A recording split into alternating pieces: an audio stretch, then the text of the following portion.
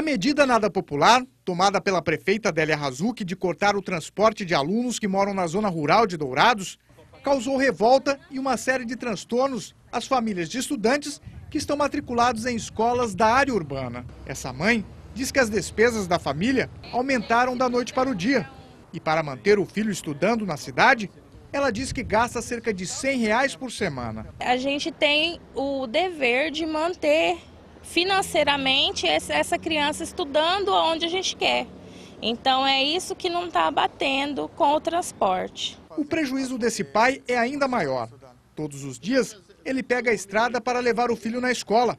O gasto com combustível é de assustar. A gente que tem um, um salário pequeno, né? E é um transtorno.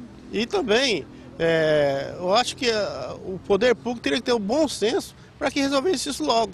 O vereador Madison Valente, um dos representantes das comunidades dos distritos, lembra que o benefício do transporte rural de alunos existe desde 1981 e que o corte ocorreu sem planejamento de uma hora para outra, sem que as famílias pudessem se programar. É uma visível falta de planejamento, aquilo que nós falávamos, né? Se no início do mês de janeiro anunciasse ó, não haverá transporte para a sede do município, automaticamente os pais iriam buscar outras alternativas.